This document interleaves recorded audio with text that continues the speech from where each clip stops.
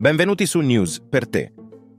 Dopo quattro mesi e mezzo dalla misteriosa scomparsa di Cataleya Alvarez, conosciuta affettuosamente come Cata, è arrivata una rivelazione scioccante.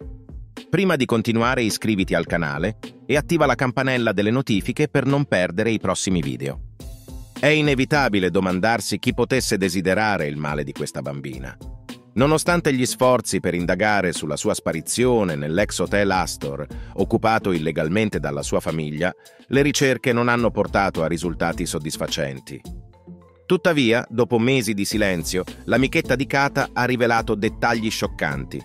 Una bambina di nome Mia, di soli tre anni, ha dichiarato di essere stata l'ultima a vedere Kata il fatidico 10 giugno quando è stata trascinata via da un uomo verso una struttura adiacente all'hotel occupato.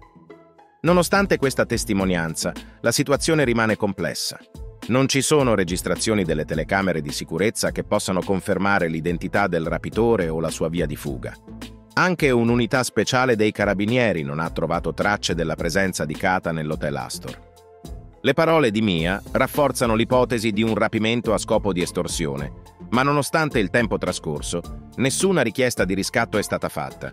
Inoltre, c'è un'altra teoria che suggerisce che Kata possa essere stata portata via in cambio di un'altra bambina, figlia dell'ex compagna di uno spacciatore.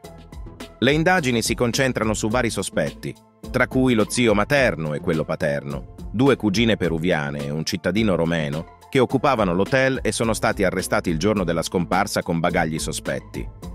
Sono accusati di sequestro di persona a scopo di estorsione, in un contesto di rivalità tra diverse fazioni, una romena e una peruviana, legate agli affitti illegali.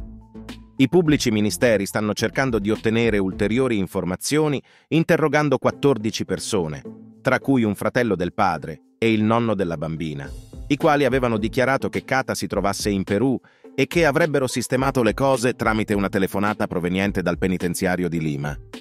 La storia di Kata rimane un enigma, mentre la speranza di ritrovarla è sempre presente. E voi cosa ne pensate? Iscrivetevi al canale e attivate la campanella per non perdere i prossimi video.